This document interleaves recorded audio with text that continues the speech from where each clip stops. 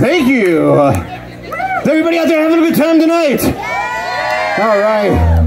My name is Ronnie DeCuro, and I'm filling in with these guys tonight. I tell you, these guys are freaking amazing, man. So it's a great honor to be up here sharing the stage with some badass kicking mother. we lost a we lost a bass player, gained a guitar player. Awesome. We also have some other special guests coming up later. All right. From 1960 something. Nine. That's right.